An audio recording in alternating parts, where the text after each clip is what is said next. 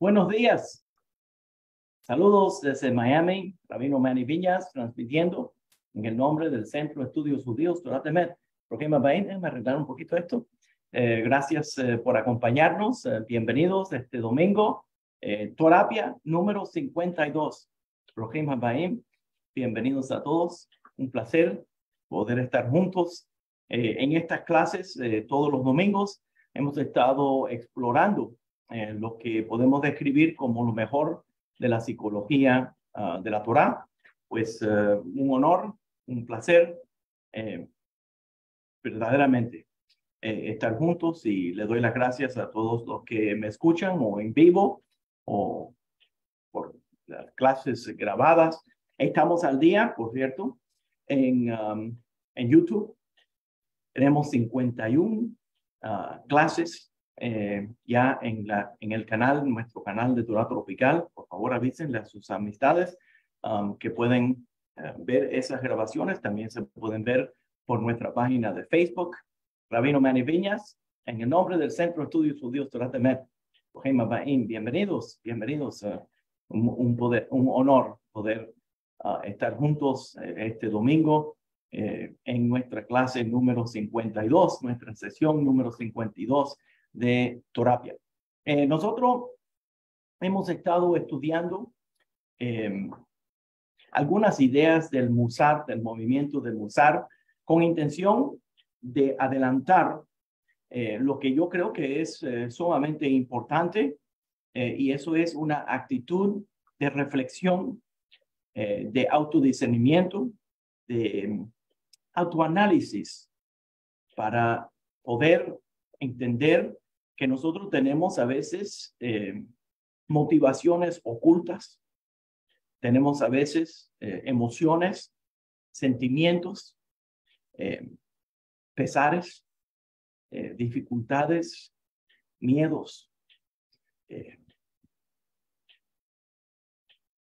que influyen la manera que nosotros reaccionamos al mundo. Esas eh, experiencias y a veces son pensamientos, motivaciones que nosotros mismos no sabemos que verdaderamente nos están influyendo. Y empezamos a hablar sobre eh, estos eh, sentimientos ocultos. Y quiero adelantar un poquito más. Empezamos a hablar sobre el Yeser Harán, el deseo del mal, el deseo del bien, todas las diferentes partes de nuestro ser. Eh, hemos estado en esto algunas semanas ya y me gustaría entrar a una herramienta más que creo que es importante en nuestro desarrollo y sirve verdaderamente como un ejemplo, un ejemplo excelente del pensar y la necesidad del desarrollo eh, de la capacidad de la autointrospección y la importancia de la autointrospección. Eh, estábamos hablando de uh, Israel Salanter eh, en las otras clases y hablamos sobre um, su pasado, su biografía, sus contribuciones. Los invito, si no han podido ver las otras, que por favor, enseguida que puedan, eh, lo hagan porque lo va a poner al día y va a poder entender uh, algunos de los temas que nosotros estamos hablando aquí. Me interesa específicamente enfocarnos en la sección de Heshbon Nefesh. Eh, desarrollada en muchos de los libros um, de la filosofía de la Hashkafá, de la filosofía um, sefardita, eh, desarrollados durante la era de oro de, Iberia, de Separad, eh, por los Ajamim, estamos hablando siglo XIII, ah, bueno, siglo XII, siglo XIII, XIV, um, muchas de las ideas desarrolladas del desarrollo personal uh, de la personalidad, de los rasgos, de los midot, de la manera que uno se comporta como ser humano. Eh, y también eso se desarrolla aún eh, de forma moderna eh, durante el siglo XVII, mientras se va desarrollando ah, el movimiento de Musar en Lituania y entre los Ashkenazim. ellos aún eh, le añaden su propia perspectiva y me gustaría ampliar un poco más sobre estos temas y algunos de los eh, eh, temas históricos que contribuyeron, contribuyeron a ese desarrollo. Pues, como siempre, estamos ah, aquí, gracias a Dios, muy bien acompañado y le doy las gracias por acompañarme. Tengo también acompañamiento del café, que estoy ah, bajo la influencia del café, este, pero no es malo porque es un café orgánico de Colombia, de la, de la finca de la familia Redondo, eh, de la compañía Cape. Un placer, ah, lo disfruto mucho. Les eh, comparto, aquí estamos, eh, me está avisando la, la computadora que verdaderamente estamos bajo de memoria y puede causar un problema para nosotros, pero vamos a ver si podemos recaudar fondos para ayudar. Eh, creó, aquí ah, hablamos un poco sobre lo que hablamos la semana pasada, para coger impulso. Eh, Salanter creó eh, grupos, lo llamaba el VAN de estudiantes, ah, y les instruyó ah, que mediten, eso se llamaba hitponenut, hit, no hitpotedut de los de la secta es absurda, pero hitponenut, eh, mientras se enfocan en rasgos específicos de la personalidad. Por ejemplo, honor, fe, ah, piedad del cielo, muchos diferentes tipos de rasgos específicos de personalidad. Em, estoy teniendo bastantes veces que se va eh, avisándonos que esto se está tenemos problemitas. Si, si me desaparezco, tengan paciencia que voy a regresar. Em, por ejemplo, eh, algunos rasgos de personalidad, honor, fe, piedad del cielo, confianza, decisión, diligencia, calma, em, silencio, ah, entusiasmo, orden, ecuanimidad. Eh, esos rasgos de personalidad él quería desarrollar dentro de sus estudiantes y los invitó a hacer reflexión y a pensar eh, profundamente y hacer un plan de estudio y desarrollo de esos rasgos de personalidad. Se tiene que entender que nosotros estamos hablando una idea que es nueva para algunas personas, pero verdaderamente es, es muy natural. Y eso es que las emociones, los sentimientos, la forma que nosotros percibimos el mundo se puede desarrollar mientras uno va desarrollando su, su capacidad emocional, psicoemocional, uno puede desarrollar la manera eh, por la cual uno responde a las cosas que se van presentando en la vida de uno. Esa capacidad emocional se va desarrollando por medio de un tipo de entrenamiento, al igual que uno puede entrenar el intelecto, al igual que uno puede aprender destrezas para poder ganarse la vida o algún tipo de talento musical, uno puede desarrollar su capacidad psicoemocional mientras uno va explorando y pensando y haciendo introspección y también estudiando las ideas de otros. Por esa razón, vale estudiar la filosofía y la psicología y todo el desarrollo de el humanismo. El humanismo desde la perspectiva de la Torá, el humanismo desde la perspectiva de todas las naciones, el humanismo desde la perspectiva del ser humano, para poder volverse una persona completamente desarrollada. Le, le instruyó los estudiantes a reunirse, a reunirse con un grupo y uh, describirle a los otros, desarrollar los temas um, que se encuentran dentro de ellos mismos, eh, reportarle al grupo de sus procesos y escuchar a los otros y a las reacciones de los demás mientras ellos van desarrollando su propia introspección. Ah, para impulsar más crecimiento compartiendo con los demás, recibiendo alguna respuesta, alguna reacción de los demás, tal vez algunas preguntas que van desarrollando esa capacidad de introspección. Em, mantuvieron un diario, uh, insistió que mantengan un diario em, de sus enseñanzas ah, con esa mirada, con ese tipo de rasgo. Y mientras iban estudiando diferentes rasgos, por unas semanas terminaban ese estudio, seguían para el próximo tema.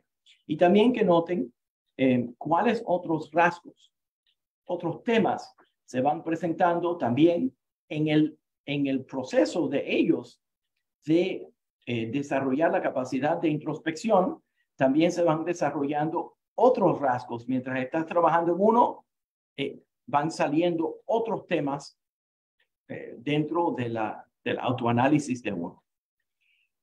por la mañana les decía que eh, identifiquen un pasuk, un verso de la Torá, eh, que lo hacen pensar en ese rasgo. Esto lo hablamos la semana pasada. Eh, desarrolló también lo que se llamaba un shtibel, una pequeña sinagoga de Musar, a donde um, hablaban Torah, que tenía que ver con las emociones y los rasgos y la personalidad de la persona, en, eh, formas muy específicas, concentradas en, rasgos especiales, en específicos eh, virtudes ah, que se quieren desarrollar de la personalidad. Es importante entender, eh, muchas personas, quiero decirlo en una forma moderada, pero muchas personas están dejándose de desarrollar a lo máximo porque no quieren tomar la responsabilidad del autoanálisis, no quieren confrontarse a uno mismo. Y al no confrontarse a uno mismo, pues entonces uno verdaderamente sigue fluyendo sin chequear sus emociones. Y hay hasta personas que abogan por no chequear las emociones. Y eso para mí es increíble. Sería como no entrenar a un animal. Tener un perro en la casa y nunca entrenarlo, eh, te destruye la casa, te destruye la vida.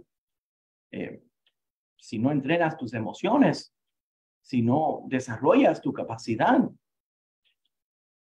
eh, psicoemocional, si uno no hace nada en su vida para mejorarse y para tal vez las personas a veces piensan también, tengo que mencionarlo, a veces piensan que eso es solamente para los jóvenes, pero verdaderamente es un proceso de la vida entera para desarrollarse uno a lo máximo, ¿no?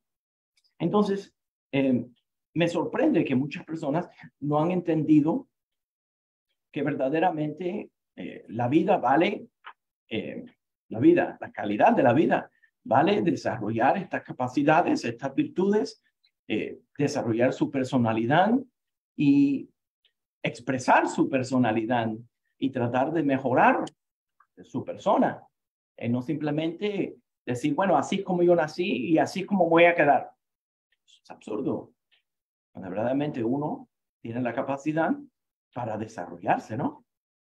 Eh, también entonces recitar estos citos de la Torah eh, repetidamente, como si fuera un mantra en los movimientos hindúes y en popularismo le dicen un mantra, pero repetir este pasuk para reforzar el enfoque interno a ese desarrollo, uh, hitpalut, em, desarrollar ese rasgo em, que uno desea desarrollar. Buscando, eh, llega a la conclusión y nos llama la atención que buscando las imperfecciones de otras personas, uno desarrolla una vasija imperfecta para uno mismo. Cuando se pasa la vida desarrollando, eh, eh, buscando a dónde los demás están fallando, uno empieza a desarrollar una vasija imperfecta para uno mismo, para buscar sus propias imperfecciones. Eh, al buscar nuestras propias imperfecciones, uno desarrolla la capacidad de la vasija de uno. Eh, o sea que todo esto eh, todo esto se desarrolla por medio de la introspección del Heshbon HaNefesh. Es un tipo de meditación em, que analiza. Su meditación quiere decir pensamiento profundo, enfocado, em, sin distraerse, enfocado en un tema específico, em, que analiza nuestro propio comportamiento, nuestra capacidad de verdadera amistad para otros y para nosotros mismos. Tenemos que ser amigos de nosotros mismos. Entonces, hoy quiero desarrollar en um, terapia número 52, quiero desarrollar más sobre las virtudes del Heshbon HaNefesh. Y voy a desarrollar eh, usando um, las ideas primero de Rabbi Israel Salanter y le quiero leer una, eh, un dicho de Rabbi Israel Salanter eh, que, creo que les va, um, nos va a ayudar a entender un poco más sobre ese pensar de Torah, eh, que no solamente es del movimiento de Musar, como lo estamos escuchando, pero que viene con fuentes muy profundas dentro de la Hashkafah, de la filosofía, desarrollada en España, como ya describí, Hobot Alevavot, eh, Orjot Haim, eh, Mesilat Yesharim, eh, un gran número de libros desarrollados durante la era de oro de España por rabinos sefarditas que hablaban sobre el desarrollo de la personalidad. dice Rabbi Israel Salanter, la Torah vino a crear un mensch, palabra ashkenazi, uh, palabra en alemán. Em, un mensch es una persona, un ser humano excelente, eh, la persona más desarrollada. El rabino Viñas, ustedes saben quién es, un amigo mío.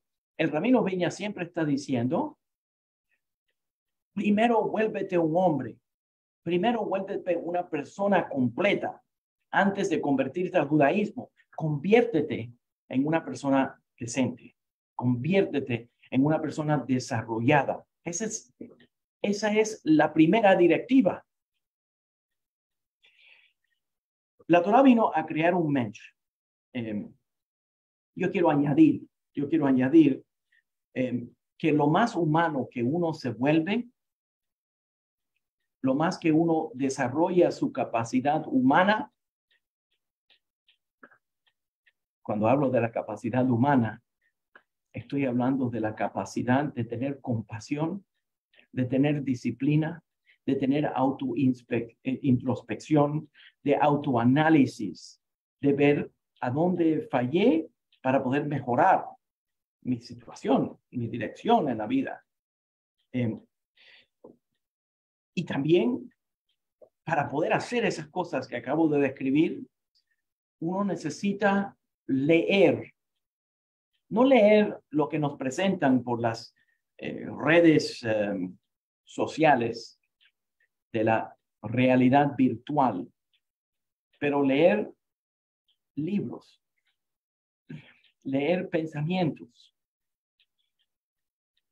consultar a los pensamientos clásicos. Mientras vamos consultando a los pensamientos clásicos, y hoy vamos a dar un ejemplo de esto para que puedan ver que no estoy hablando simplemente, ¿ya?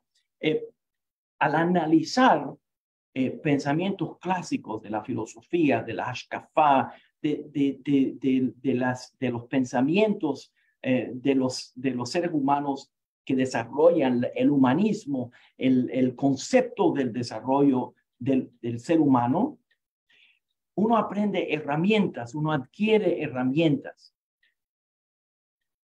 para ver por qué yo debería de desarrollar esto.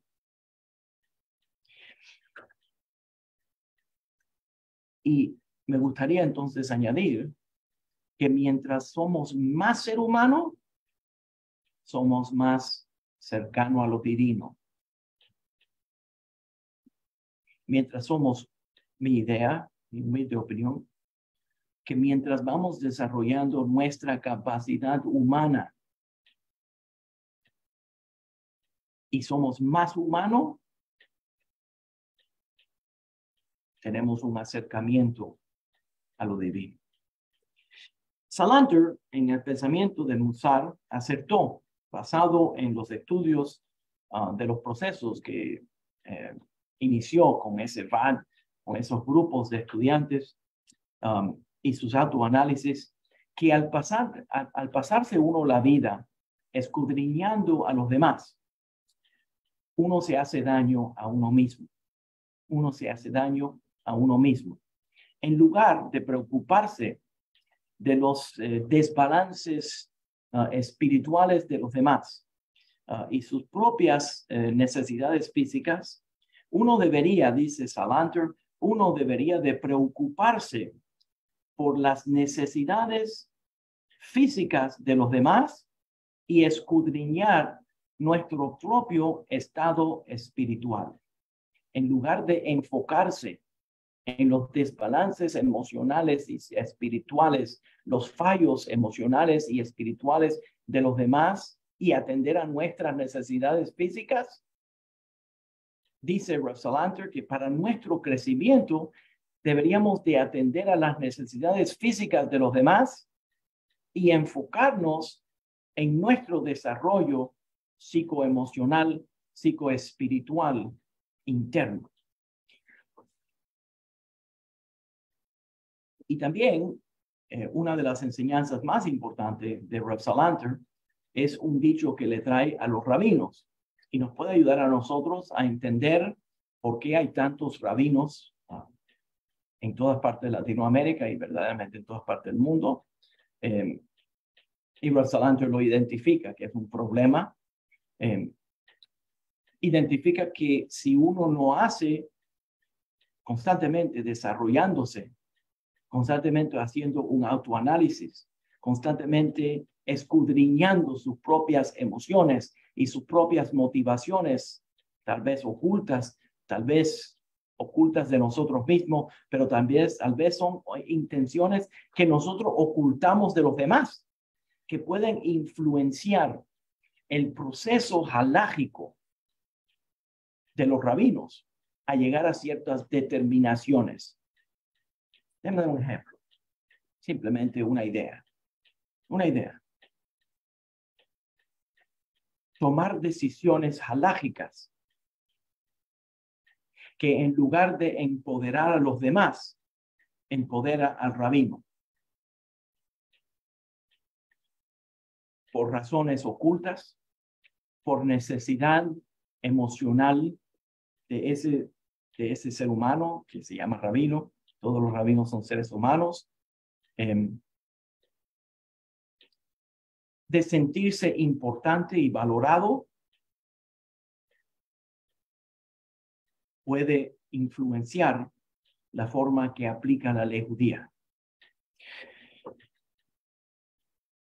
La manera de integrar la religión y las creencias es afectado profundamente por estas motivaciones ocultas, de acuerdo a Rab Salanter. Eh, la manera entonces de llegar a encaminar las eh, motivaciones y a guiarlas y a reconocerlas y tal vez guiarlas y desarrollarlas sería por medio eh, esas motivaciones ocultas que estamos hablando sería por medio del Heshbon Hanefesh, ese análisis, el análisis de uno mismo, para desarrollar ciertas virtudes. Eh, cuando yo hablo de las virtudes, estoy hablando de comportamiento que demuestra eh, un alto nivel de desarrollo moral. Cuando estamos hablando de virtudes, estamos hablando comportamiento que se desarrolla dentro de una persona que demuestra eh, un alto nivel de desarrollo moral en la persona. Eh, antes, en los tiempos antiguos, no hace tanto tiempo, eh, porque yo todavía me se acuerdo. los psicólogos, los padres, los maestros, pero especialmente los padres y los abuelos. trataban de desarrollar la educación moral, la educación moral de los niños. Ahora, desgraciadamente, es considerado inapropiado que los maestros le guíen a los niños con algún tipo de desarrollo moral, de capacidad de conciencia. Quieren presentarnos con su modernismo la idea de que deberíamos de abandonar un sentir de culpabilidad. Y por esa razón no le pueden eh, sembrar a un niño o también a un adulto un sentir de culpabilidad. Pero regreso un momento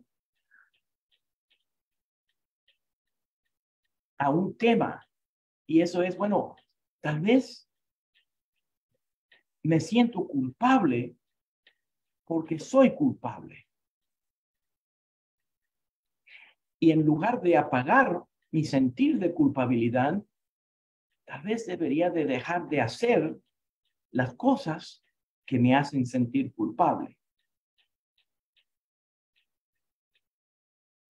Pero para poder hacer eso, necesitaría tomar responsabilidad por mis acciones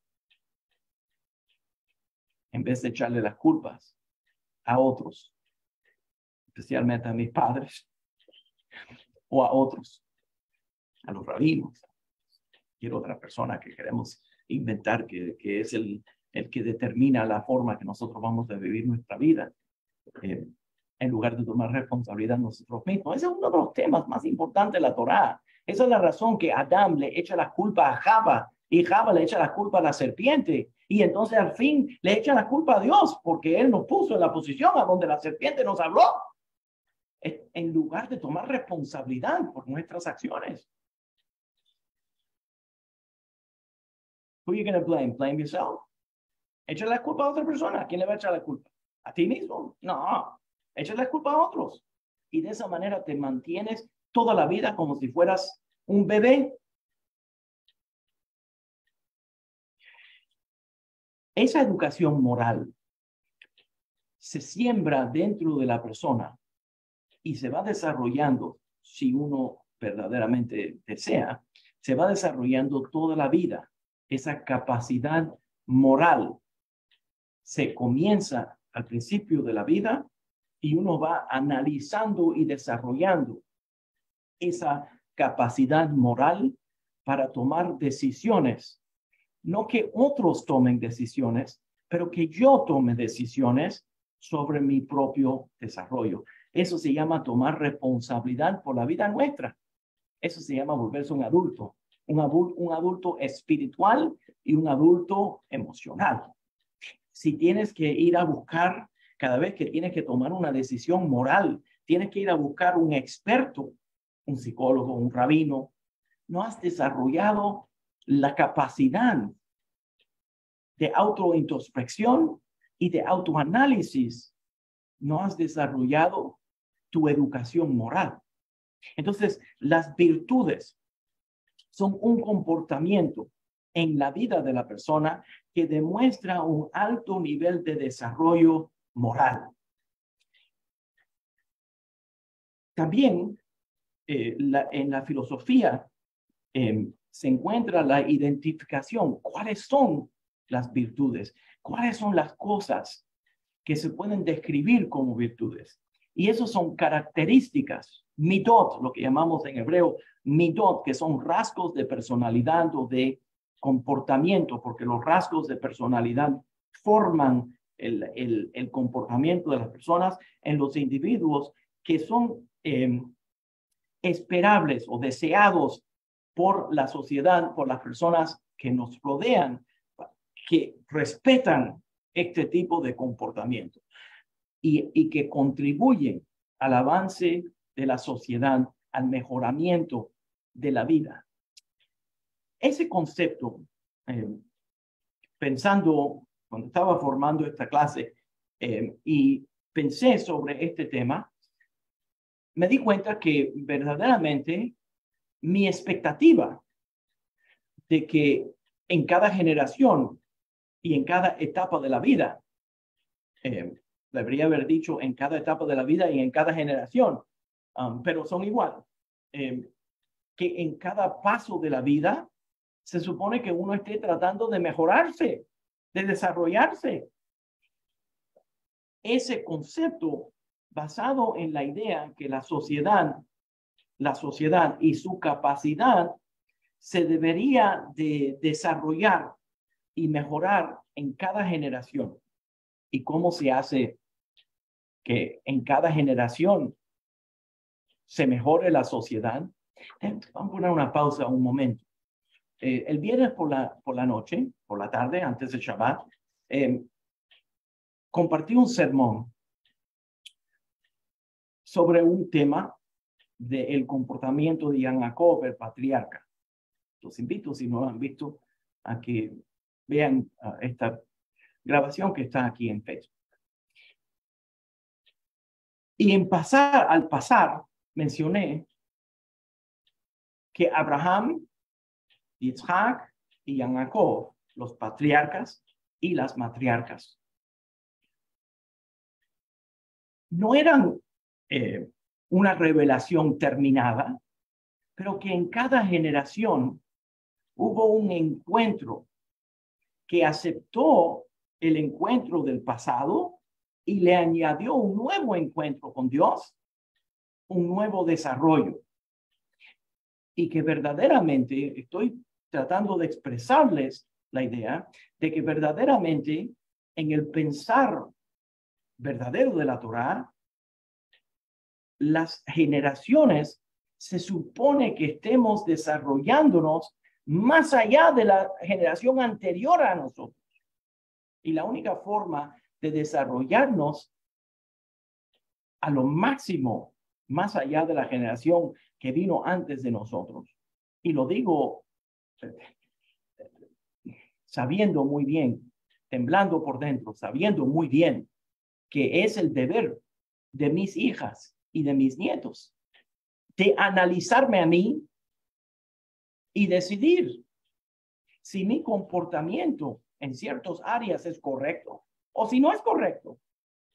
Y si no es correcto, me gustaría pensar que en las próximas generaciones, que eso se mejore, que eso se supere en la familia. En otras palabras, no queremos estancar el crecimiento basado en las experiencias de nuestros antepasados. Queremos que las experiencias de nuestros antepasados, que son correctas, nos informen para desarrollarnos más que ellos.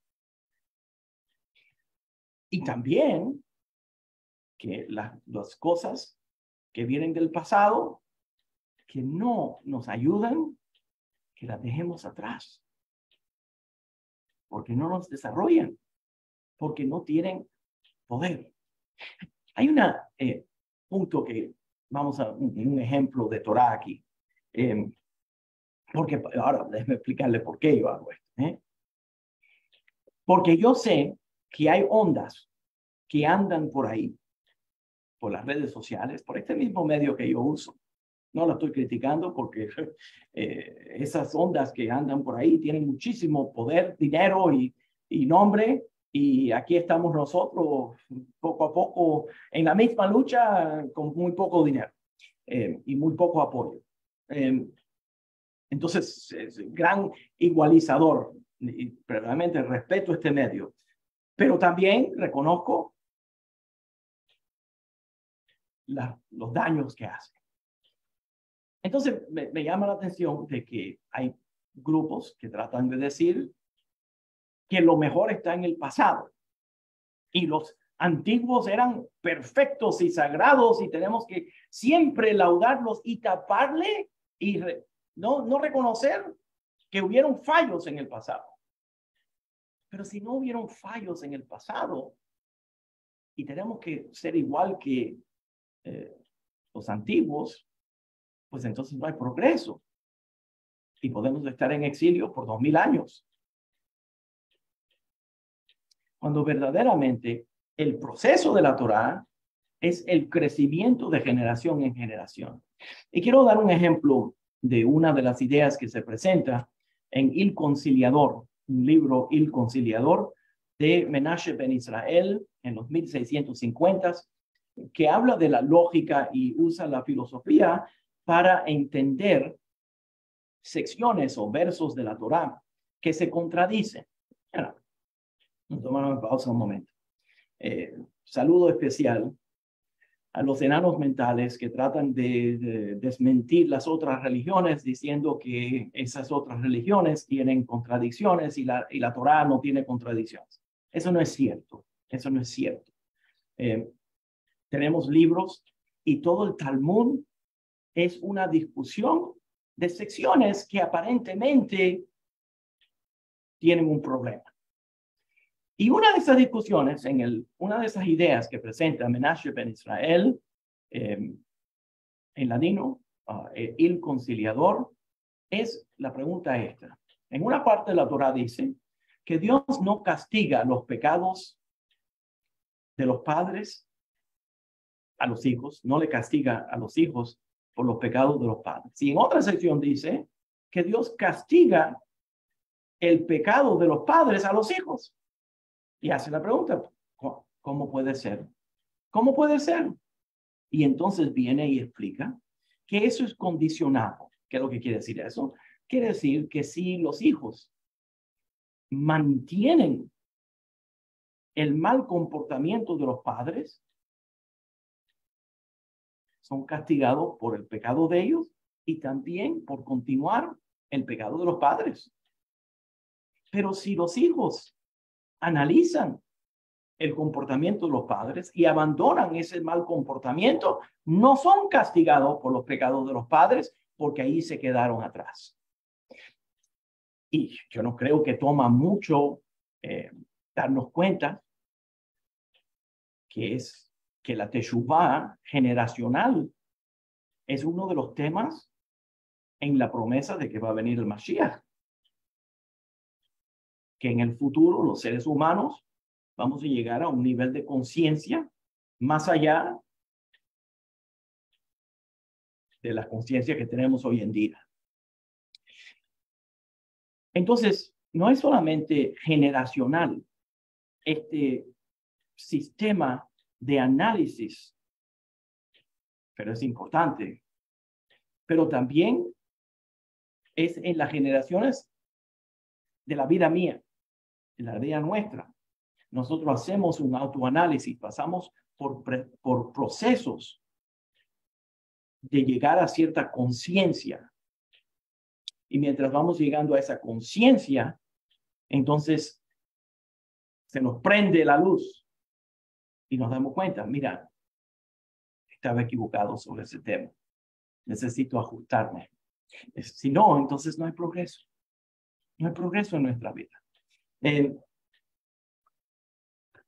entonces, aparece esto como si fuera algo controversial, pero verdaderamente no lo es. Y es increíble para mí que una religión eh, tan, tan lógica como el judaísmo, intelectual, se vuelva en lugar de eso un sistema de aturdimiento eh, intelectual. Eh, tratar de sugerir que los antepasados no hicieron nada mal, son perfectos. Eh, que los patriarcas y los profetas, nuestros reyes, no fallaron. La Torah nos dice directamente que fallaron y Moisés, el portavoz de Dios, es un tartamudo. Eh, la tradición judía no tiene ningunos hombres y mujeres perfectas. Lo que tiene es seres humanos que andan perfeccionándose y nosotros estamos tratando de perfeccionarnos. Entonces es absolutamente natural que nosotros aprendamos cómo mejorarnos. Ahí es donde vamos. Em, algunas ideas del Musar eh, fueron influenciadas. Esto también es controversial, pero yo no sé por qué. Yo le digo la verdad, yo no sé por qué por qué estas, estas sectas eh, tratan de imponer falsedades y todo el mundo tiene que decir la misma falsedad para poder ganarse la aprobación de ellos, pero como yo no necesito su aprobación, eh, yo puedo decir lo que es natural que ha ocurrido. Eh, algunas de las, eh, de las ideas de Musan fueron influenciadas por el movimiento filosófico que se desarrolló durante el mismo periodo de tiempo, el periodo de ilustración, um, de ilustración del Enlightenment de, la ilustración en hebreo se llamaba la Haskalah de Europa y luego también en Hispanoamérica. Ese periodo de la ilustración em, cultural, intelectual, eh, se desarrolló en medio eh, siglo XVIII, perdón, se me pegaron em, siglo XVIII hasta el siglo XIX. Ah, e inspiró ese movimiento, inspiró eh, cambio, cambio cultural. Ah, el más grande inspiró la Revolución Francesa y su, em, el movimiento ese filosófico europeo eh, de la iluminación, eh, por cierto, laudable, extremadamente laudable, em, su su meta era disipar las tinieblas ah, de la ignorancia, eh, la ignorancia de la humanidad mediante las luces del conocimiento y el uso de razón, el uso de razón. Em, la facultad esa, cuando hablamos del el uso de la razón, estamos hablando de la facultad de ser humano, de pensar, de reflexionar, para llegar a una conclusión de uno, formar juicios de una forma determinada sobre algo específico, viene de la palabra ratios, rationes del latín, que es el cálculo, el razonamiento, el uso del sistema intelectual para analizar la vida. En España también ah, se desarrolló, esto mayormente se desarrolló en Inglaterra y en Alemania y en Francia, ah, pero también en España se desarrolló ah, menos de forma política, pero más de forma científica, usando la metodología del análisis en la ciencia y la medicina, y verdaderamente es eh, el motor que adelantó mucho de lo que nosotros vemos hoy en día. Eh, también el uso de la razón para disipar y eh, combatir a la superstición, la superstición y la tiranía, la dictadura política, usando estudios sin prejuicio y estudio uh, produjo ideales, ese estudio uh, produjo ideales como la libertad, eh, la fraternidad, Ah, el gobierno constitucional, eh, la separación del Estado y la religión. Em, también eso surgió, ese movimiento surgió en Hispanoamérica, especialmente en la Nueva España, que también se llama México. Se desarrollaron escuelas, una sociedad, la, la Compañía de Jesús, em, que era un grupo de científicos y filósofos um, ilustrados, José Rafael, uh, Campbell, um, una clara separación entre la filosofía y las ciencias naturales, cambiar y desafiar la sumisión incondicional a las autoridades, cambiar y desafiar la sumisión incondicional a las autoridades. No quiero que esto se vuelva una lección de historia, pero es importante um, hablar del tema porque influyó este um, nacimiento del uso de razón y de la introspección del pensamiento claro, eh, del abandono de las supersticiones. Desgraciadamente estamos entrando a una era oscura a donde todo el mundo quiere funcionar con supersticiones. Eh, pero eh, se supone eh, que mientras vamos adelantando, vamos analizando nuestras supersticiones. Podemos decir, esta es una superstición mía. Pero, ok, será una superstición, pero vamos a analizarla a ver si es verdad o no. Y si no es verdad, abandonémoslas, ¿eh? Abandonar, vamos a abandonarla, eh, porque no, no tiene función. Lo que hace es detenernos en, en nuestro avance. Eh, también hubo un movimiento eh, de, ese, de esa eh, luz que se llamaba en el, en el judaísmo europeo Ashkenazi del siglo XVIII y el siglo XIX, durante el mismo periodo, que se llamaba la Haskalah, usando los valores, la Haskalah. Haskalah es uno de los enemigos del movimiento Haredi. Entonces, el judaísmo que muchas personas en Latinoamérica están escuchando eh, verdaderamente, para que puedan entender por qué entro a esta historia, eh, verdaderamente eh, todavía estamos escuchando la lucha, la lucha filosófica entre la Haskalah y el Haredismo. El Haredismo se creó como un movimiento reaccionario a la Haskalah, a este periodo de el uso de razón para analizar las cosas. Y lo pintan los enemigos del movimiento de Haskalah, lo pintan como si fuera reformismo, heloní, eh, algo que se tiene que rechazar. No se puede usar la razón. Y entonces te dan más supersticiones, te dan más supersticiones imponen eh, sumisión a la autoridad. Y lo pintan como si terrible, ni lo consideren. Considera solamente lo que yo les diga, dicen sus líderes. Pero verdaderamente el movimiento de la escala no era completamente eh, contrario a la tradición.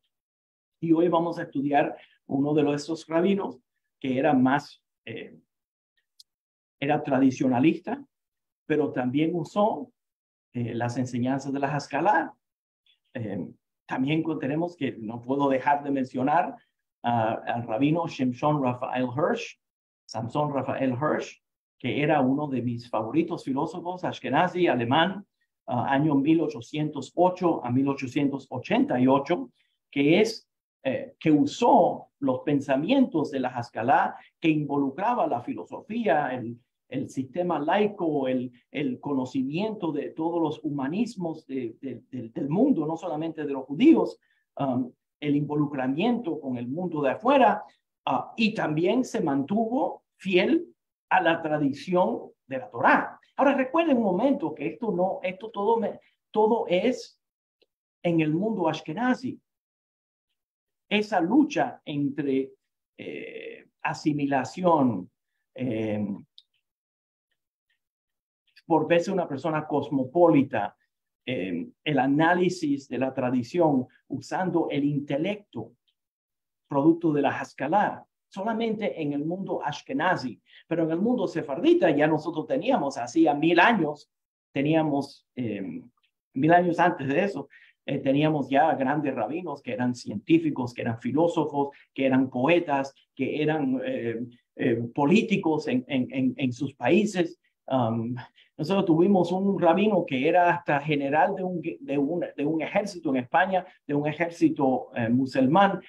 nosotros no teníamos ninguna dificultad los judíos sefarditas, no tenemos ninguna dificultad con el pensar en una forma filosófica usando eh, la, filosofía griega o la filosofía gentil y analizar Torah por ese medio, como, como vemos en, en, la guía de los perplejos de, de Maimónides, eh, nosotros éramos completamente ah, influyentes en el mundo de España, en el mundo de la filosofía, eh, y no nos sentimos que eso era algún tipo de, de desviación de la tradición. Pero en el mundo ashkenazi todavía estamos viendo la lucha entre la Haskalah que desarrolló el movimiento reformista, que también desarrolló otros movimientos y otras formas de pensar dentro del judaísmo, y los que imponen eh, completamente lo opuesto a ese tipo de pensamiento, que es sumisión a la autoridad, eh, que es supersticiones, que es todo tipo de, de forma que ellos tratan de hacernos creer que es eh, la, la, forma tradicional de pensar, pero verdaderamente no lo es.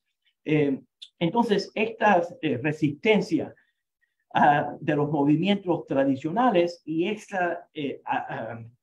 encuentro con el uso de la razón y sistemas de pensar para llegar a un tipo de análisis es lo que estamos viendo todavía eh, desplegándose en la sociedad que nosotros estamos siendo bombardeados constantemente por los diferentes movimientos que se van presentando por la red.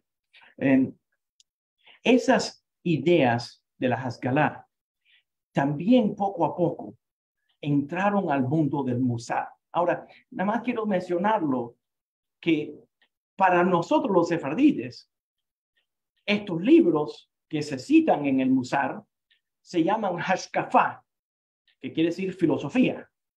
Y en los, las introducciones y en la forma que citan los rabinos de Iberia, de Sefarad, em, estos pensamientos de ellos, estos desarrollos de pensamiento, eh, no le da ninguna pena, ninguna vergüenza eh, citar a Aristóteles, citar a Sócrates, citar a Platón, citar a diferentes formas de pensar que no vienen de la tradición judía, pero el movimiento de Musar, por la influencia de la lucha entre el tradicionalismo y este ajuste al mundo laico, por primera vez los Ashkenazim tenían derecho, especialmente después de la Revolución Francesa, eh, y, Napoleón, eh, las revoluciones napoleónicas que fueron fabulosas para el pueblo judío.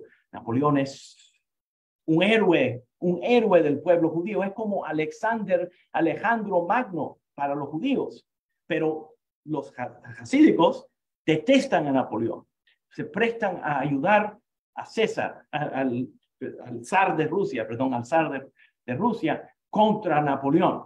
Entonces, estamos viendo una lucha de pensamiento y, esa es la razón que quiero enfocarme un momento para poder entender lo, eh, lo que estamos viendo eh, verdaderamente desplegado por todas las páginas del, pero, no, pero sin hablarlo, sin hablarlo. Y, y, todo el mundo se supone que le tenga miedo decir que las ideas de la Haskalah son absolutamente fabulosas, porque abren el proceso de autoanálisis y del uso del intelecto. ¿Ya? Ok, entonces, em, hablando de el ejemplo de Shimshon Raphael Hirsch, también quiero presentarles em, que hubieron esos elementos que se fueron desarrollando en, en el Musar. ¿Y por qué el Musar lo llaman Musar y no lo llaman Hashkafá? Para evitar de que los tradicionalistas digan que eso es algún movimiento de la Haskalah. Entonces no quieren decir eso, pero le cambian el nombre y le ponen Musar porque los judíos sefarditas están cómodos hablando de filosofía, pero ellos necesitan eh, ponerle otro, otro tema, eh, otro nombre, otra etiqueta. Eh, esos elementos de la Haskalah, de la iluminación, influenciaron la forma durante ese periodo que las personas, que los rabinos empezaban a analizar ese desarrollo absolutamente natural y yo creo que tiene muchísimo sentido usar cualquier recurso que está disponible para nosotros para desarrollarnos a lo máximo. Y a eso es lo que voy hoy. Gracias por su paciencia conmigo. Voy a tomar un puchito de café para tomar, para tener más energía para seguir adelante. De Jaime, Esta taza está muy bonita, pero no se preocupen, no pague el precio completo. Al fin soy judío, ¿verdad? Ok, bueno. Eh, estos libros de Musar crearon em, una mezcla de Hashkafá de la era de oro sefardita, de la península ibérica, y el pensar de la escuela de Musar de Salanter y elementos escondidos que andan en el, en el movimiento de Musar citando la sabiduría de la psicología moderna y la filosofía moderna del, del periodo, disfrazándola, uh, hebraizándola para que los tradicionalistas no puedan rechazarla. Eh, el ejemplo que quiero enfocarme hoy es un libro llamado Heshbon Hanefesh, Heshbon Hanefesh, que viene del siglo XIX, que es una guía, una guía al estilo del Musar y es parte de los libros de Musar, la intro que guía para la introspección y para el auto mejoramiento. Ah, el libro fue escrito ah, por el rabino Menachem Mendel uh, Leffen, Menachem Mendel Leffen, de Polonia, de Podolia, 1749 a 1826. El libro se llama Heshbon Hanefesh, eh, un autoanálisis eh, que verdaderamente autoanálisis de su propio ser y tiene 13 diferentes Ah, ejercicios con temas de virtudes para el desarrollo. Es un rabino tradicionalista em, que abogó por añadirle a educación, educación laica, eh, educación general al currículo de, las, de los yeshivot. Es un rabino tradicional ortodoxo tradicional que decide que es correcto que los niños en los yeshivot no solamente aprenden Torah, pero que aprendan también los temas de la educación general. Eh, también era un miembro del movimiento de la Haskalah que mantuvo la práctica tradicional del judaísmo. Era una persona completamente opuesta al hasidismo y a la Kabbalah, la hasídica, um, decía que eso uh, no usaba la razón y que verdaderamente era simplemente supersticiones. Completamente eh, observante, el libro Heshbon Nefesh es hoy en día eh, estudiado por todos los yeshivot de Musar um, y ese sistema aplicado es considerado eh, uno de los más altos ejercicios para desarrollar la capacidad de musar. Ese desarrollar es para desarrollar hábitos, hábitos sanos y exitosos que te impulsen a seguir creciendo en tu vida, convertirse a uno en una mejor versión de uno mismo. Problema con ese libro de Heshbon Anefesh es que es plagiado. Sí, el libro es plagiado. El libro, y no menciona el nombre del autor original y de dónde viene el material, es simplemente em, una versión hebraizada de los 13, las 13 virtudes desarrollado por Benjamin Franklin, eh, uno de los más, eh, estoy buscando mis notas un momento, por favor, eh, uno de los eh, más importantes padres de la patria de los Estados Unidos de América. Benjamin Franklin escribió sobre las 13 ah, virtudes y el rabino Leflin tomó esas 13 virtudes de Benjamin Franklin, palabra por palabra, las tradujo al hebreo y produjo un libro de Musar sin reconocer que Benjamin Franklin ya había desarrollado esas ideas. Eh, pero es palabra por palabra. Em, y por esa razón voy a, em, voy a presentar las 13 virtudes de Benjamin Franklin. Um, déjame entrar un momento a quién es Benjamin Franklin, Benjamin Franklin. El padre, uno de los padres de la patria, de los Estados Unidos de América. Vivió, nació en 1657, murió en 1790. Era un científico extraordinario, Eh, todo el mundo en los Estados Unidos reconoce a Benjamin Franklin como un, eh, eh, estudiando la, la, electricidad con un papalote o con una cometa, estudiando la electricidad con los truenos, pero era tremendo científico, un escritor, un inventor, un político, um, el creador del ethos, del pensar al estilo americano. Y puedes pensar cómo puedo describir el ethos, el pensar. Eh, lo llaman un polímata, una persona que era extraordinario en muchos diferentes temas, y hoy vamos a estudiar algunos de esos temas, eh, en su ah, capacidad de filosofía y de introspección, el ah, Benjamin Franklin.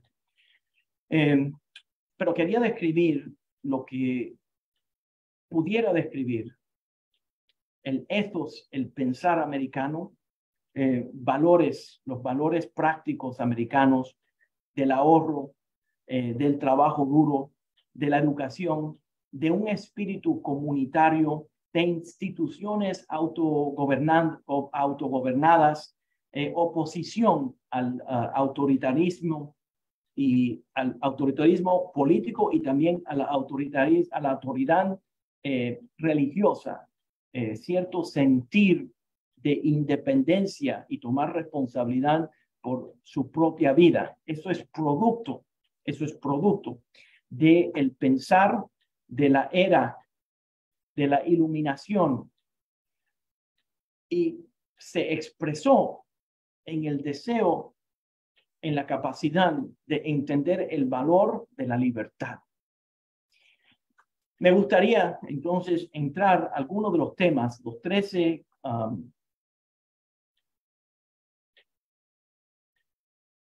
los tres, las 13 virtudes de acuerdo a Benjamin Franklin y su programa de desarrollar esas capacidades em, emocionales y virtudes de rasgos de personalidad que lo ayudan a uno a llegar a cierta eh, al, desarrollo máximo uh, del humanismo. Eh, voy a citar directamente a Benjamin Franklin.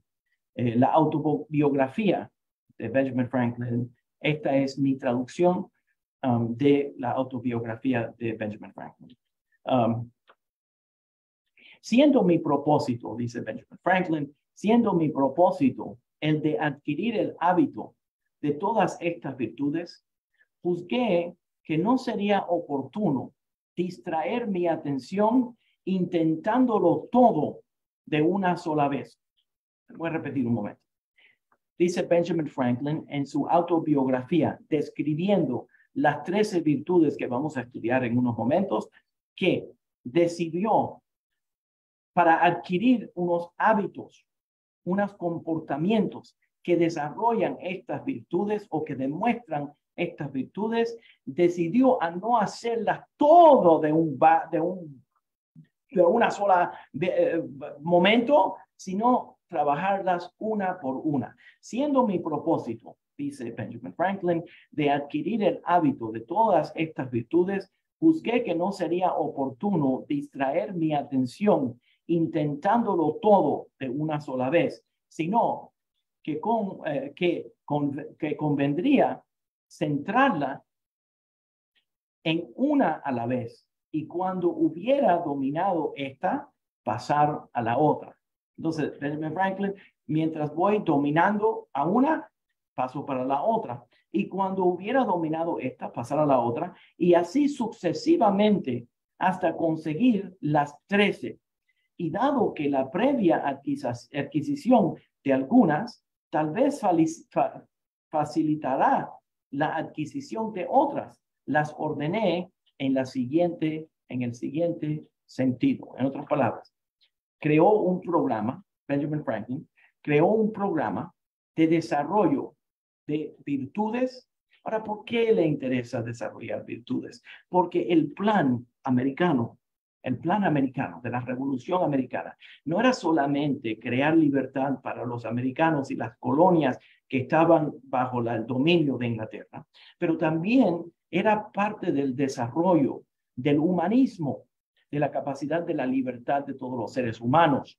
Em, entonces, de esa manera, quiero añadir yo, eh, todo esto se basa en el desarrollo, el desarrollo de la capacidad de introspección, eh, basado en la idea de que uno puede, uno puede desarrollar su capacidad psicoemocional eh, por medio de la introspección. En otras palabras, la clave aquí es la introspección. Y Benjamin Franklin ahora va a presentarnos unas virtudes y nos va a decir ideas para, para desarrollar nuestra introspección sobre esas virtudes que van a cambiar el camino del carácter de la persona, van a ir desarrollando el carácter de la persona para desarrollarlo a que tome su máxima, eh, su máximo desarrollo. Ahora quiero mencionar aquí que una de las claves, ahora a mí me han acusado, y, y yo soy culpable exactamente de lo que me han acusado,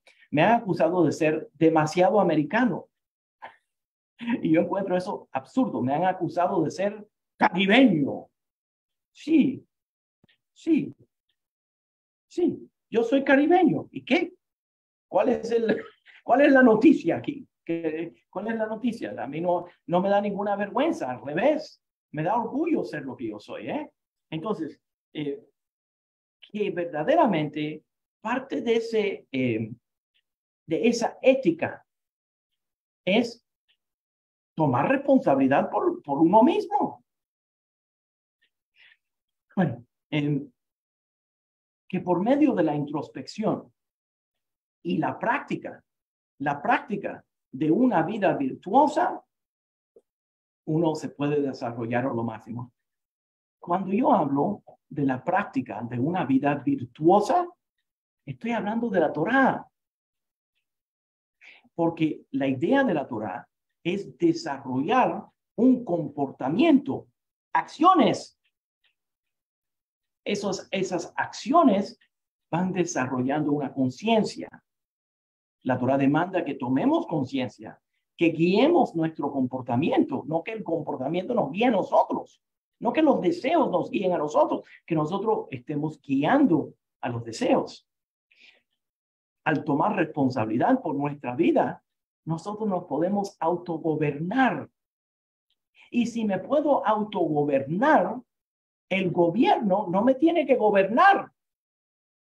Si yo puedo controlarme y no ser un criminal, la policía no me tiene que arrestar. Y si la mayoría de las personas en la sociedad eh, no son crímenes, no son crímenes, no son criminales, perdón, no son criminales, pues entonces menos policías necesitamos, porque la mayoría de la sociedad no es criminal. ¿Y cómo se desarrolla que la mayoría de la sociedad no sea criminal? Desarrollando la capacidad psicoemocional humana, moral de la sociedad. Entonces, si, si yo me puedo gobernar, yo no necesito tanto gobierno. ¿Ya están entendiendo? Cuando viene la dictadura, la dictadura me va a imponer a mí lo que ellos desean. Pero si yo tengo autocontrol, yo no puedo permitir que ellos me impongan a mí. Los gobiernos gobiernan con el, los derechos que nosotros le damos a ellos. Ellos no nos dan derecho a nosotros. También los rabinos. Escúcheme, el rabino no te puede gobernar a menos que tú le des derecho a él de gobernarte. Pero si tú te puedes desarrollar en tu capacidad, no te tienes que pasar la vida pidiéndole la aceptación al dictador. Puede venir de adentro de ti. Y entonces tú te vuelves el dueño de tu propio ser. Y el dueño de tu propio ser se llama un hombre o una mujer libre.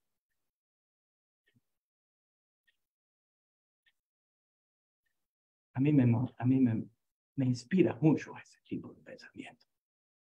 Y por eso que lo comparto. Porque es el desarrollo a lo máximo. Entonces, para mí tiene muchísimo sentido que el padre de la patria, uno de los padres de la patria, comparta cómo desarrollar la virtud independiente, no del gobierno, no del gobierno, pero de los ciudadanos. Porque un ciudadano que se desarrolló a lo máximo no requiere tanto gobernar. Se puede gobernar el mismo. Vamos a entrar un momento. Entonces, ah, porque ahora para aclarar, para ya ponerle ya la última, la última eh, frasecita ahí, vamos a decir, cereza, perdón. Eh, esa es la idea de la Torá. La idea de la Torá no es que nos gobiernen los rabinos. La idea de la Torá es que cada individuo desarrolle su capacidad. Ese es un momento nada más. Eh, se presentan dos hombres en, la, en el campamento que están recibiendo profecía fuera del Sanhedrin, fuera del Anshe la los hombres de la asamblea que puso Moshe. Josué viene y le dice, estos hombres están, eh, tienen profecía en el campamento, vamos a sacarlos. Moshe le dice, no, nosotros queremos que cada individuo desarrolle esa capacidad. Tiene una base fuerte en el judaísmo, pero los autócratas quieren que uno se someta ciegamente a la autoridad. Pero la Torá lo que está buscando es que tú te gobiernes a ti mismo, no que otros vengan a gobernarte. Ok, vamos un momento, las 13 virtudes ah, de um, Ben Franklin, esto me va a tomar algunos momentos, um, creo que es importante. Número uno, templanza, la templanza. Y todo lo que voy a decir ahora son em, fuentes directamente de Ben Franklin. Um, Aliméntate, dice Ben Franklin, sin llenarte. Bebe sin exaltarte. Desarrolla la capacidad de moderarte. Desarrolla la capacidad de moderarte, de controlar tus impulsos. Esto denota templanza. Se desarrolla en muchas partes de la vida cuando necesitamos autocontrol. La templanza, número uno, el desarrollo de la capacidad, de acuerdo a Benjamin Franklin, em, el, desarrollo de la capacidad para controlarnos. Interesante, por cierto, que enseguida que lo, lo pongo lo pongo en este, en este shiur, pienso en el Ramah, Moshe Isserles, uno de los grandes eh, poskim um, de, de los Ashkenazim de Polonia, que escribe un comentario al Shulchan Aruch y que aparece junto al Shulchan Aruch, que se llama el mapa, como él describe Yom Kippur. Y dice que la razón que tenemos que ayunar en Yom Kippur es para entrenarle al cuerpo que porque él desee algo no quiere decir que se lo tenemos que dar. En otras palabras, en Yom Kippur estoy ayunando y el cuerpo dice, dame algo, dame algo de comer. Y yo le digo, no, no te voy a dar nada de comer. ¿Por qué? Porque mis eh, valores, mis creencias dicen que no puedo comer en Yom Kippur. Entonces, ahora estoy entrenando a mi cuerpo y estoy entrenando a mí mismo, dice el Ramá, a decir, pero un momento, porque yo desea algo, no quiere decir que lo tengo que hacer, tengo que ponerlo a la luz de, de mis creencias, de mi moral, de mis virtudes. Número dos, el segundo de las virtudes, silencio. No hables más de aquello que puede beneficiar a los demás y a ti, o a ti. Eh, envía, evita, perdón, evita las conversaciones triviales y enfócate solamente en lo que es necesario para adelantar, para adelantar a otros o para adelantarte a ti. Número tres, orden, poner orden, que todas tus cosas tengan su lugar, que cada parte de tu ocupación tenga su tiempo. Como dice el Rambam, el Maimónides trata de dividir las, los quehaceres, las atenciones del día en diferentes partes del día. poner en orden eh, tu ambiente, de acuerdo con Benjamin Franklin, lo que está afuera refleja lo que está adentro. Si tu casa es una casa limpia y elegante, refleja que tú eres una persona limpia y elegante. Número cuatro, resolución. Resolución. Se resuelve hacer los deberes, hacerlo sin falta, lo que hayas resuelto hacer, hacerlo. En otras palabras, eh, dices, voy a hacer algo, pues hazlo. Hazlo. No sigas deteniendo. Si dices que vas a hacer algo, pues hazlo. Número cinco, frugalidad. Frugalidad. No gastes más um, en aquello que pueda beneficiar. Perdón. No gastes más que en aquello, en las cosas que pueden beneficiarlo a los demás o a ti mismo. Es decir, no desperdicies nada. Ser inteligente con los gastos de uno. Esto es importante. Eh, muchas veces la gente acusa a los judíos de ser agarrados, um, de ser duros, ¿eh? de ser duros. Pero verdaderamente nosotros no somos duros. Nosotros, nuestra cultura nos entrena a pensar antes de gastar, a no desperdiciar las cosas que se pueden usar para adquirir otras. Y también entonces, un momento, eh, el uso del buen juicio, porque constantemente nos están marketeando, nos están vendiendo algo. Si te dejas guiar por lo que te están vendiendo, vas a la quiebra. Entonces, en decidir qué yo voy a hacer con mi dinero, es un tipo de autocontrol. ¿ya? Diligencia número seis, diligencia. No pierdas el tiempo. Eh, ocúpate en algo útil. Elimina todas las acciones innecesarias. Número siete. Este es muy importante. Sinceridad. No utilices ningún engaño. No utilices ningún engaño perjudicial. Piensa con inocencia y justicia y si hablas, habla en consecuencia.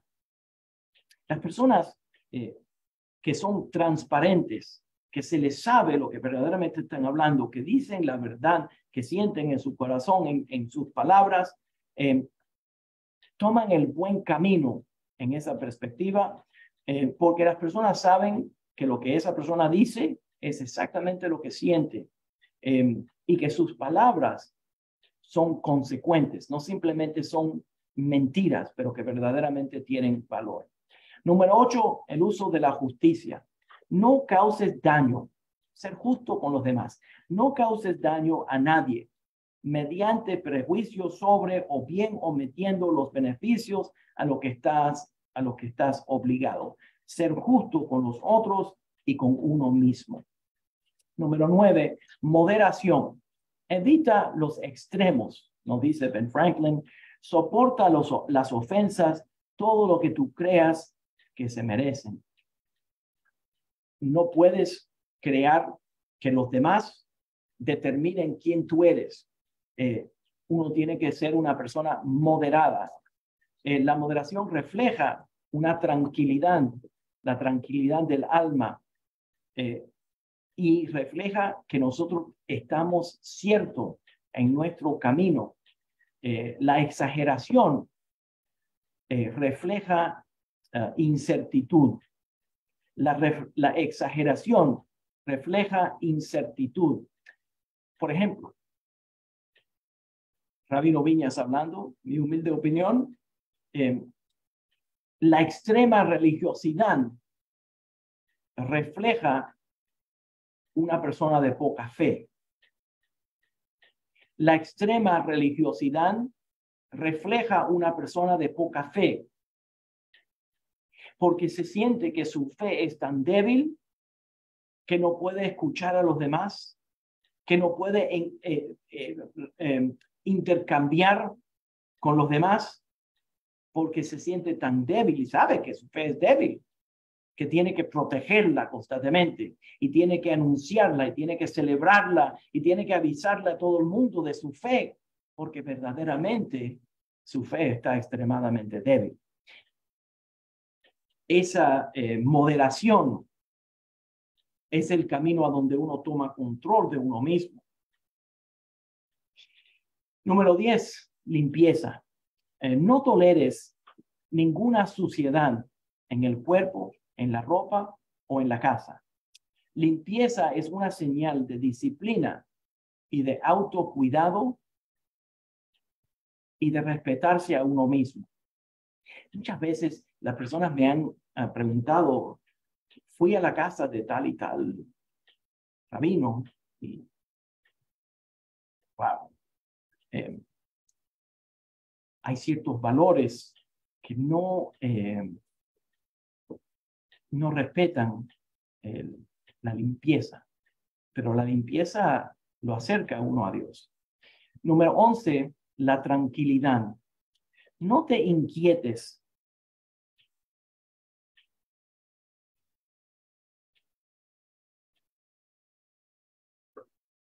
por las cosas que ocurren en la vida, las acciones comunes o las cosas que ocurren que son inevitables.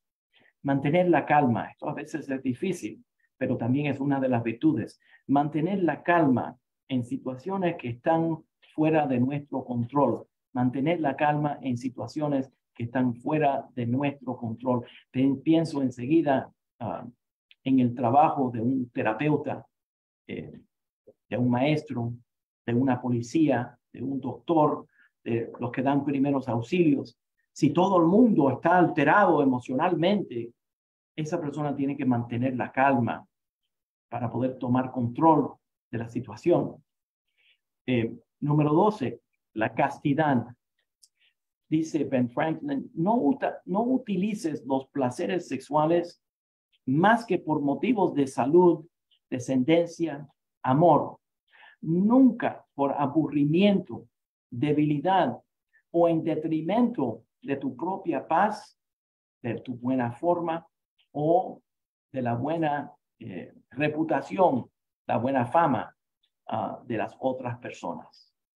Eso es la castidad. Número 13, la humildad. Número 13, la humildad. En las palabras de Brent Franklin, imita a Jesús o a Sócrates pero verdaderamente no está hablando de forma religiosa. Eh, el tema para Franklin no es religioso, es vivir sin alardear, sin alardear. Eh, en Heshbon Anefesh, él lo cambia para vivir como Moisés.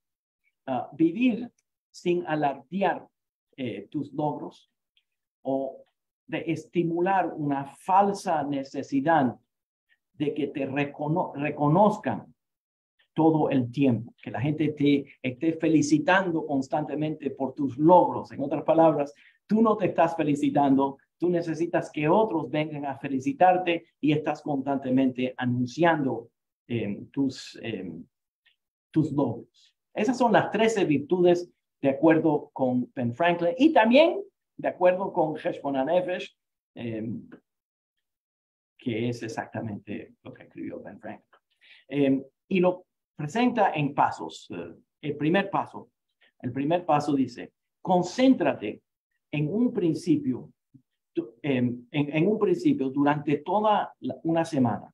Todos los días de la semana responde con la acción adecuada cada vez que surge la oportunidad. En otras palabras, enfócate en una de esas virtudes y, cada, y toda la semana, una semana entera, suena exactamente lo que hizo uh, Salanter con el VAD.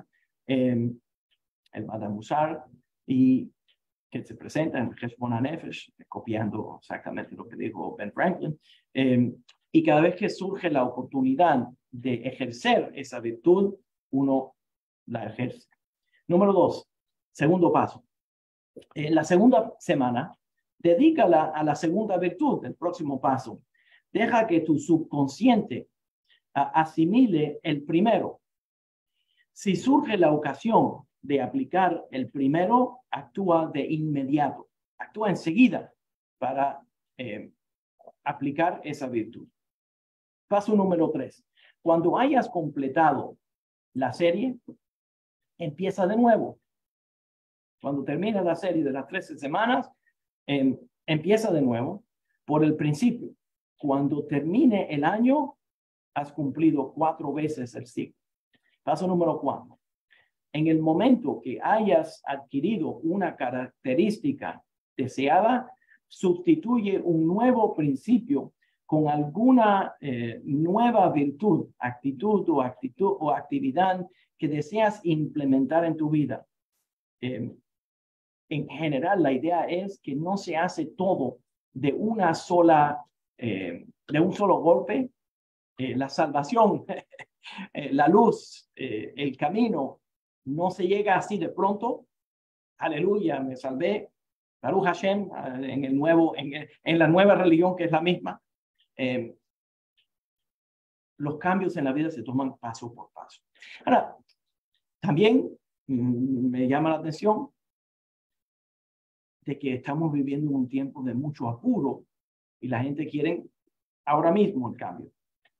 Pero verdaderamente, y, la razón, y, tal vez es alguna de las razones que quieren algún tipo de milagro en su vida, porque no quieren tomar responsabilidad de crear el milagro, el milagro de su vida. Em, pero me interesa tomar un momento antes de terminar este shiur para aclarar que todo lo que hemos estado hablando es con el deseo y con la idea, con la filosofía, con la creencia de que los seres humanos podemos desarrollarnos, que tenemos la capacidad por medio de la introspección, por medio del uso, uso del razonamiento, por medio del uso del intelecto, por medio de la educación moral, de desarrollarnos a lo máximo. Y si la Torah no es un desarrollo moral que te desarrolla a ti, ¿para qué lo haces? ¿Y a qué sirve? explicarles. Dios no necesita que tú guardes kasher. No le estás haciendo ningún favor a Dios guardando el Shabbat. El Shabbat es un testimonio a ti de que Dios creó el mundo en seis días y descansó en el séptimo y que nosotros somos creados a la imagen divina. Y como Dios descansó en el séptimo día, nosotros también descansamos. ¿Qué quiere decir eso? Quiere decir que yo tengo valor es un testimonio a mí, etcétera. Todos los mitzvot no es un favor que yo le estoy haciendo a Dios. Por esa razón, el, viernes por la noche estaba hablando del tema de que no, esto no es un intercambio. Mira, Dios, si yo hago esta mitzvah, si yo hago esta segulá, tú me das lo que yo te estoy pidiendo. No, porque Él no necesita que nosotros hagamos esa cosa. Él no nos necesita a nosotros. Nosotros lo necesitamos a Él. Y el camino de la Torah es un desarrollo de la personalidad de la persona, no de la religiosidad. Es un camino del desarrollo de Menschlichkeit, de ser un ser humano, de ser una persona que tiene buen comportamiento, de poner orden en su vida. Por esa razón la Torah dice que el Espíritu de Dios entró a este mundo que era tohu babohu, que era nulo, que no tenía orden. Y entonces Dios va poniéndole orden.